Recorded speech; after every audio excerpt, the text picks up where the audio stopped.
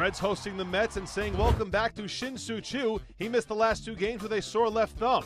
Bottom two, Choo's facing former Red Aaron Harang with men at the corners.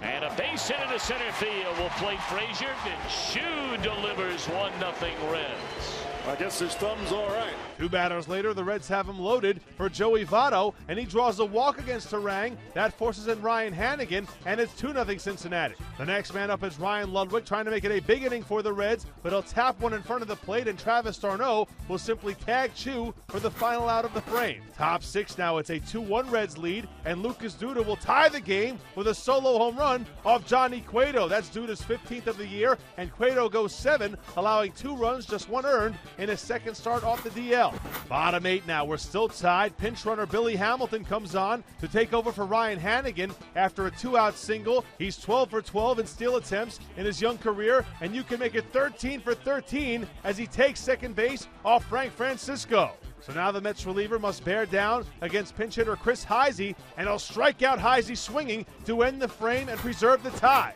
Top nine, Aroldis Chapman takes over, and he's throwing gas. He'll strike out Andrew Brown. The next batter is Juan Lagares. He strikes out looking, and after that, it's d'Arnaud striking out on a foul tip. Chapman K's the side. Bottom nine now. Choo is on second after a leadoff double, and with Brandon Phillips batting against David Aardsma, Choo takes off for third, his second swipe of the game, and the Reds are 90 feet away from a win. When the Phillips at bat resumes, he'll bounce one toward shortstop. Omar Quintanilla makes the play to first, and Choo has to stay put. The next batter is Joey Votto, who draws an intentional walk, his fifth free pass of the game, tying a Red single game record, and it's also based on balls number 132 for the season for Votto. That ties a Reds record as well. The next batter up is Ryan Ludwick, up with men at the corners. He'll pop out to the right side. Daniel Murphy puts it away for the second out. Then Jay Bruce is intentionally walked to load the bases for Todd Frazier, who will flare one towards center field. Juan Lagares is there to make the catch and end the frame. Aardsma wiggles out of trouble.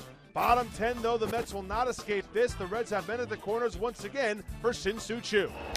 And this is going to do it as Choo lifts a fly ball into left center field. Reds win, Reds win. Final count of three to two here tonight. The game winning hit comes off of Sean Henn. The Reds have won six of seven, and with that victory and the Nationals losing on Monday, Cincinnati and Pittsburgh both lock up playoff spots. The Reds and Pirates remain tied in the standings at 90 and 67, and both clubs are two games back of the first place Cardinals in the National League Central.